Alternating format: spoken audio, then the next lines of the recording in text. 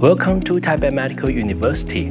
I am Assistant Professor Chang Chia-Huang. Our School of Public Health is well known for its achievements in the field of public health in Taiwan and abroad.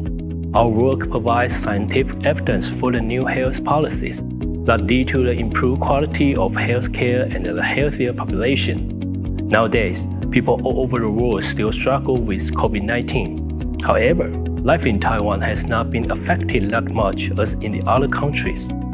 We successfully deal with a relatively small scale outbreak without lockdowns and panics, without stopping our economy.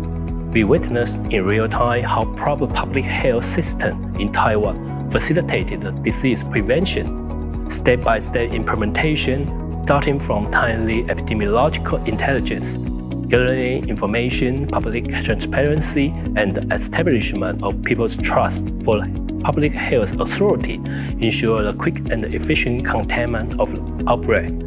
We hope that during your stays and studies, you will learn from our successful experience and apply it later in your career and benefit your countries, benefit the world.